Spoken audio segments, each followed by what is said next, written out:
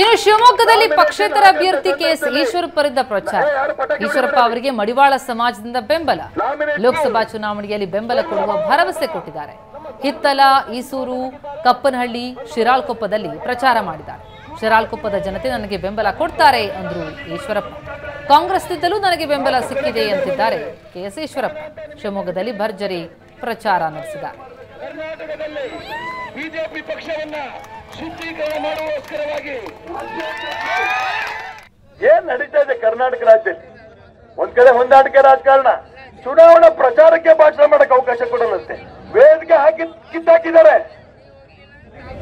Mic ಹಾಕಕ್ ಅವಕಾಶ ಇಲ್ಲ. ತುರ್ತು ಪರಿಸ್ಥಿತಿ ಇದೆಯಾ ದೇಶದಲ್ಲಿ?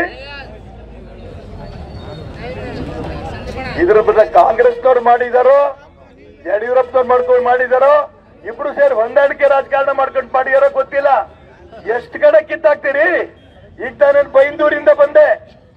ಬೈಂದೂರಲ್ಲಿ ಬರ್ಬೇಕಾರೆ ಕೊಲ್ಲೂರು, ಆ ತಾಯಿ ದೇವಸ್ಥಾನಕ್ಕೆ ಹೋಗ್ಬಂದೆ ಮುಖಾಂಬಿಕಾ ದೇವಸ್ಥಾನಕ್ಕೆ. ಅಲ್ಲಿಂದ ಕೊಲ್ಲೂರಿಂದ ಬರ್ಬೇಕಾರೆ ಕೊಲ್ಲೂರಲ್ಲಿ ನೋಡ್ಬೇಕಿತ್ತು ನೀವು. ಇದರ ನೂರು ಪಟ್ಟು ಜನ ಸೇರಿದ್ದಾರೆ.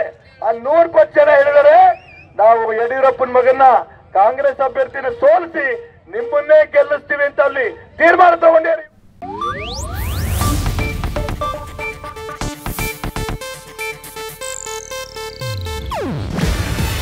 ಇದು ಏಷ್ಯಾನೆಟ್ ನ್ಯೂಸ್ ನೆಟ್ವರ್ಕ್ ಪ್ರಸ್ತುತಿ.